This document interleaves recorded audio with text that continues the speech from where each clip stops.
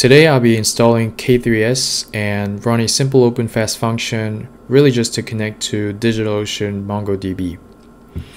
And although everything is very well documented on K3s documentation and there is also an OpenFaaS workshop that really walks you through the entire process. However, I still did face some problems installing these on my virtual machine, so I just wanted to do a quick run through although it's going to take about 30 minutes. But let me actually just give you an overview of my virtual machine. It's an E2 Medium on Google Cloud and it's an Intel x86. But I've also ran and tested this on ARM machines, so um, I'll tell you where it's different for ARM machine as I walk you through. So first we want to install K3s and if you come to K3s documentation and to the quick start guide, it's going to give you a script to install K3s and how you can join your worker node. So you really just have to run the script. However, um, instead of just pasting this, I will actually want to pass some configuration. So if you actually come to the K3s uh, configuration options, it tells you different ways to add your configuration. So you can just pass them as flags like down here. So I'll just use the flag to um, add a token as such.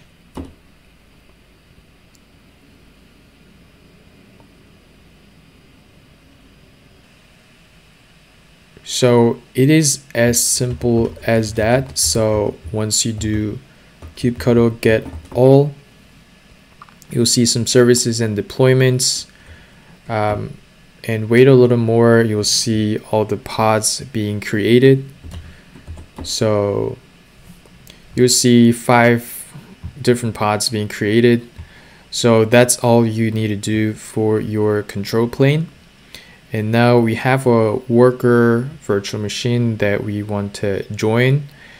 So back to quick start guide. I'm just gonna paste this, copy this line here and paste it here.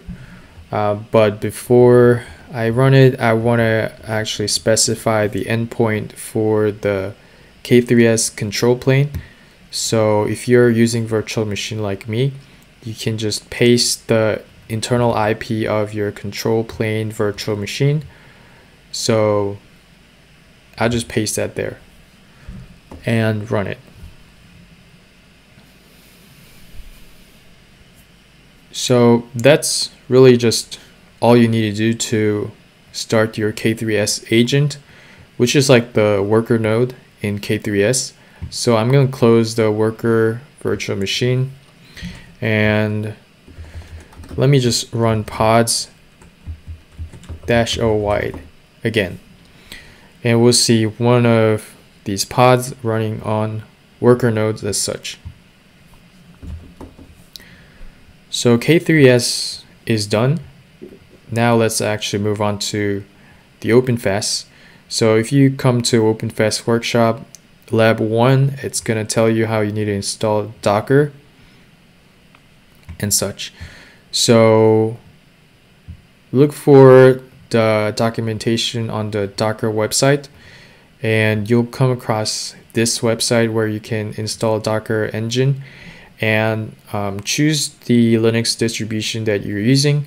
I'm using Debian, so scroll down a little bit and install using the repository. So you just have to set up repository and then install your Docker.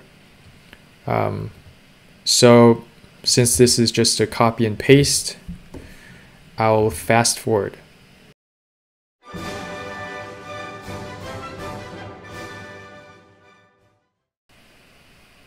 So once that is done installing, we can confirm Docker is installed by running Docker. So once we have Docker, now we are back in the workshop and you will have to install the OpenFaaS CLI just by pasting this line here. So just paste that right there. and confirm your faas-cli is installed. Once you're done, um, now you need to configure a registry by doing a Docker login. And that's because later you will have to deploy your function to your repository. Um, so you can do Docker login, but for Google Cloud Virtual Machine, you need to do sudo. So you can just specify your name and password to log in. And then you have to specify this variable by um, passing in your Docker Hub username as such. So just copy this here and I'm going to do echo, uh, paste it there inside a single quote. And just pass in my username and close the single quote. And append that to uh, my dot profile file. And then I'll have to run source to save that. And now when I actually echo the OpenFaaS prefix we'll now see the username being printed out. So we're done with lab 1 let's move on to lab 1b so 1b is about setting up your Kubernetes cluster but because we've already done that we can skip that and scroll down all the way down to deploying OpenFaaS. So in order to install OpenFaaS, um, you first need arkade. Um, so you can just copy this line here, paste it, and you will see the arkade has been installed.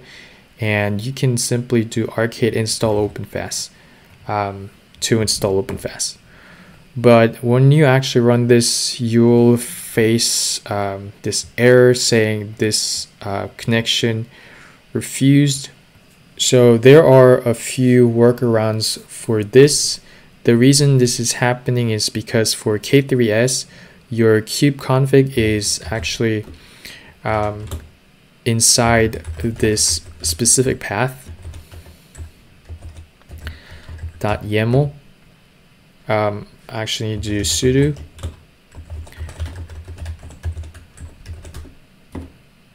Yep, so it's in that path. So you can actually pass or copy and paste that to kubeconfig or you can specify your kubeconfig path to that path rancher and so on. So there are two different ways to go about this, but um, and sometimes for some virtual machines you have to run this um, as a root user and that was the case for um, the VM on Google Cloud. So it depends, but I'll run this as a root user, and I'll do kubectl config view raw, and then pass that into the kube config file as such. So once I do that, when I actually print the content out, I'll have what I need in there. So I can do arkade install OpenFaaS as such, but you might actually come across another error saying a permission denied to this path um, dash TMP. And just one workaround that I found online was actually remove this sticky bit by just um, pasting this line here. So after pasting that line, I'm to do install OpenFaaS again. And that's to install fine. So once I'm done with that, um, as it says here, you have to turn it back on. So I'll paste this second line here as such. So once you're done with installing, it's gonna say how you have to forward the gateway to your machine. So let's actually run this first line here. And it's gonna say gateway successfully rolled out. So now you have to port forward uh, your port 8080 to the gateway and run it as a background process. So once you run that, it's gonna say it's forwarding from port 8080 to 8080. So what this is doing is um, forward any traffic that's coming to your uh, IP at port 8080 to the gateway port 8080. So once that is running, you actually have to open a new connection. So I'm going to open a new window as such. And while that is loading, um, let me come back to the workshop, the OpenFaaS workshop. So I've done the rollout status, I've done the port forwarding. The next thing you have to do is specify the OpenFaaS URL and it says populate as above, meaning populate this with the URL of the gateway.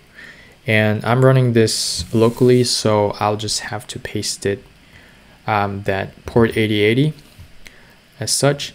So what I'm going to do is echo inside a single quote and specify the URL of your my gateway.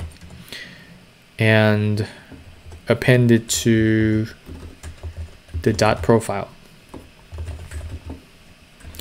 and save it so now when I print print it out it's it works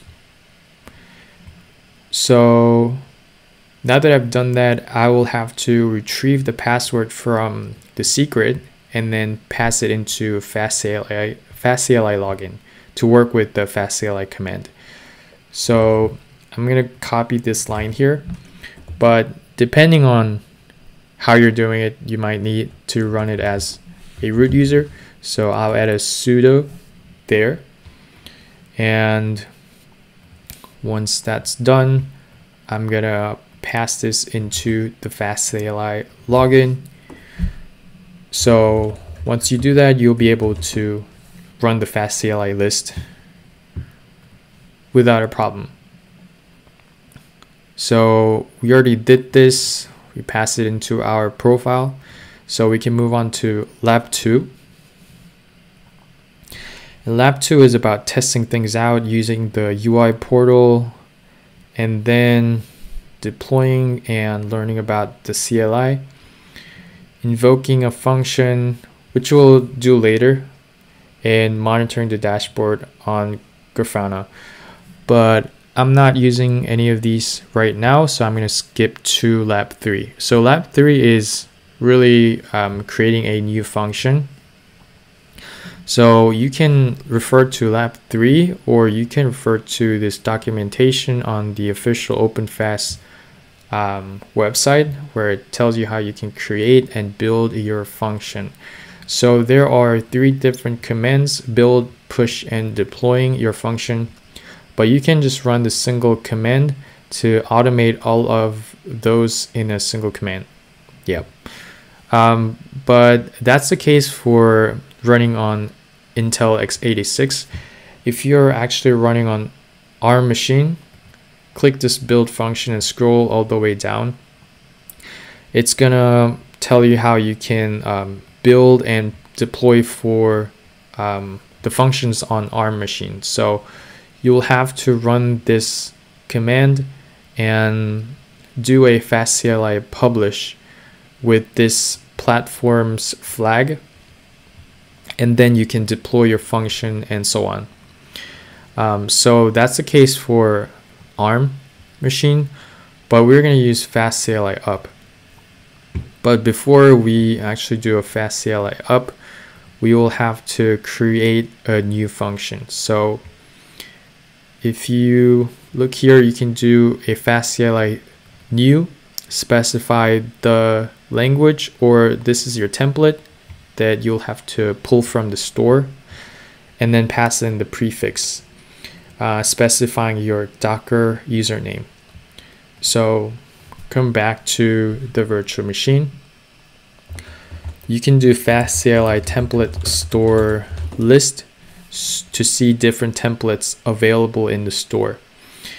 And for this demo, as I mentioned, I'll be using Golang to really just connect to a DigitalOcean MongoDB. So I will need to use faas-cli template store pool golang http. So once you pull that from the store, you'll see a template directory and inside the template directory, you will see the templates or um, relevant templates that's um, that you just pulled. And if you're using Golang for your function, there is a blog post doing a deep dive into Golang for OpenFaaS functions. And I'll put a link to this um, blog post as well in the description box for your reference. So now that we have the template, we can do faas-cli new, specify the template, Golang HTTP and specify the prefix, which is the username of your Docker Hub. And um, I'm going to name this test dash Mongo DB. So once you run that, and you will see how you have a single .yaml file that looks like this, um, specifying the gateway and the handler. So this is the directory that we have here.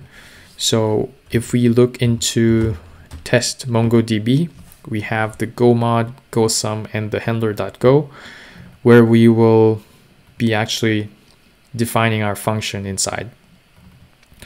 So I'll cd into test MongoDB and edit this handler.go file. Um, I'm not going to be using any of this here. Um, but in order to actually connect to MongoDB, we need to use the Mongo Go driver.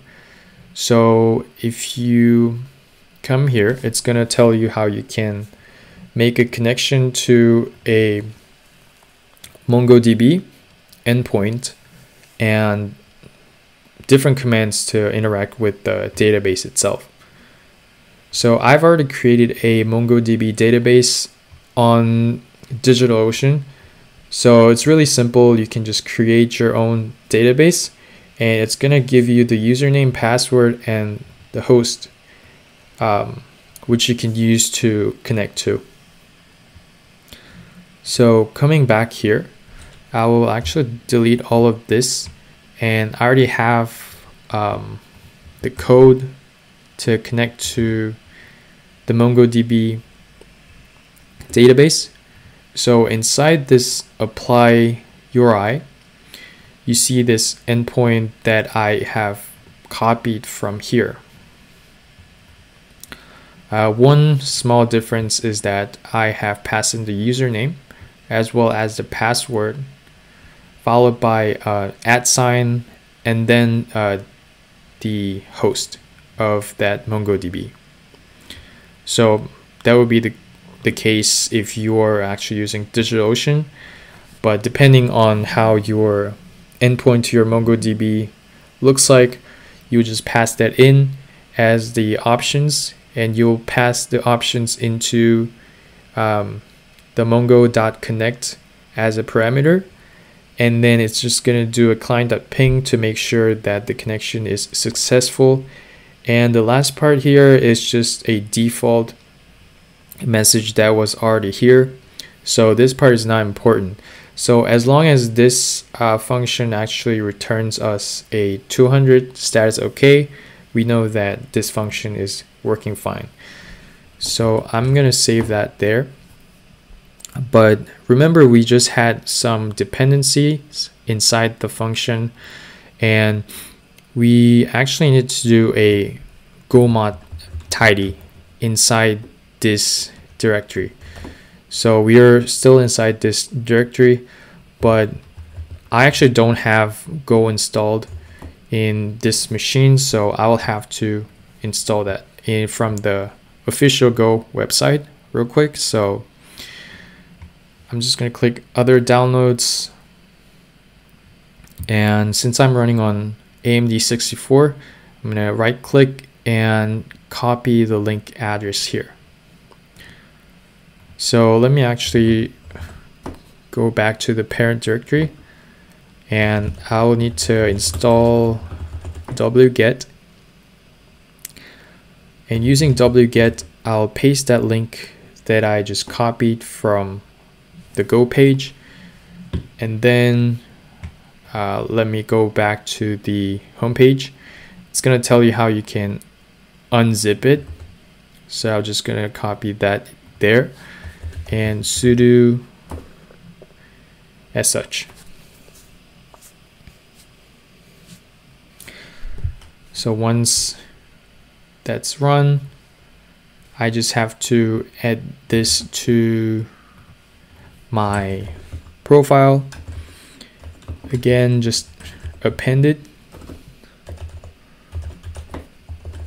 And then save it.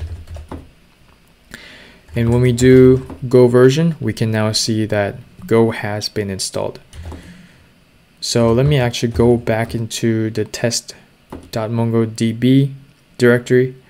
Now I can do go mod tidy and that's gonna install all the dependencies that I had and then I can do go build. So once that has been built I'm gonna cd back out into the parent directory. So this is the directory where I have the .yaml file.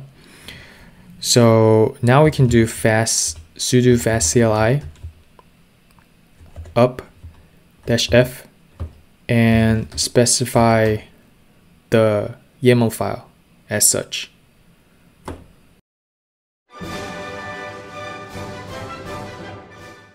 But you might actually get an error saying you need to run gofmt or go. I don't know how to pronounce it. Um, you will actually have to go back into your directory and run gofmt uh, on your handler.go. And then I'm going to do faas-cli up again.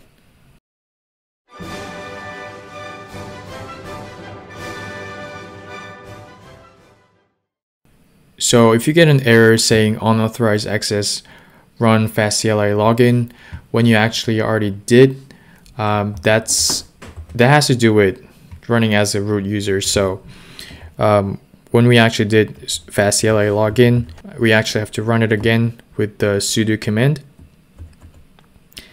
and run that again. So now we can see the function has been deployed and we can really just test it using the curl command and we can see we received a 200 status OK. So our function is running fine. That wraps up this tutorial. Thank you all for watching.